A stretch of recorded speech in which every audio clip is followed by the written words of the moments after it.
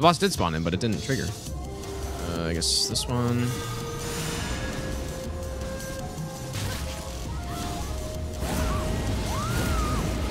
Get weird st staggers.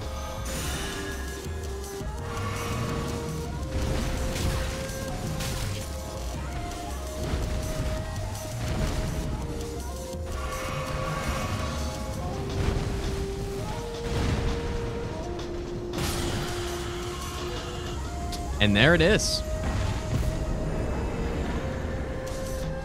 Sentry Torch OP. wow, that was uh, that was pretty nice, dude. I actually did not think that was gonna happen. Not even with a good build either, dude. Like this is just Axe Talisman Ritual Sword, sixteen thousand damage. I was like, that was probably like a perfect one shot as well, because that boss has around that amount of HP.